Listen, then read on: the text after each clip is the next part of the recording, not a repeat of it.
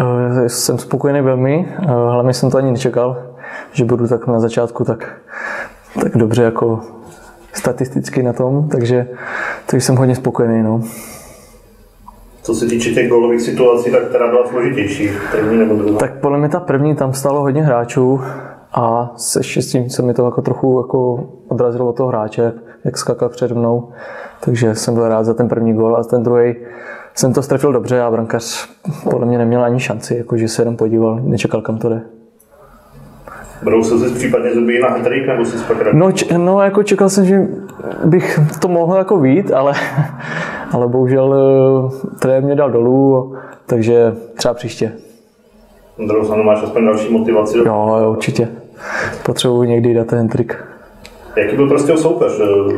Podobně nepříjemný jako na podzim? Jo, jo, určitě. Oni byli hodně dobře na baloně, nebali se hrát a nám to moc jako na začátku nešlo. Asi jsme měli strach, nebo já nevím.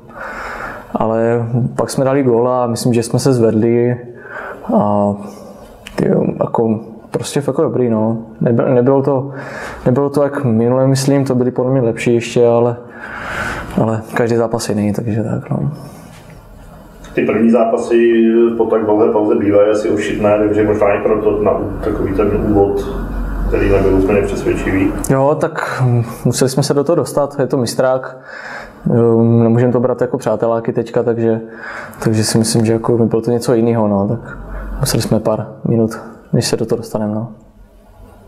Jak vnímáš ten aktuální, řekněme, přetlak na pozici ofenzivních hráčů, kdy vlastně jeden z vás stabilních hráčů musel zůstat na lavice, on zahladí? No, tak počítali jsme s tím, že přijde konkurence a, a podle mě se tak rozhodli trenéři, že jsem hrál já a asi se to jako jim povedl ten výběr teďka. Uvidíme, co bude další týdny, ale myslím, že konkurenci máme hodně velkou na těch záložníkách, takže musíme se prát o, ten, o to místo. No.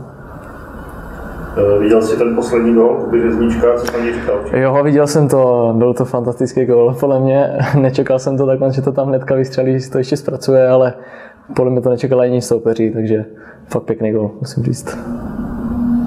Teď vás čeká poklidnější víkend, protože přece jenom vítězní vstup 3 body, skoro 4-1, takže... Jo, tak teď máme ještě trénink zítra, takže, takže uvidíme, ale teď odpočneme no, na další týden myšlenky už teď směřují na Vysočí.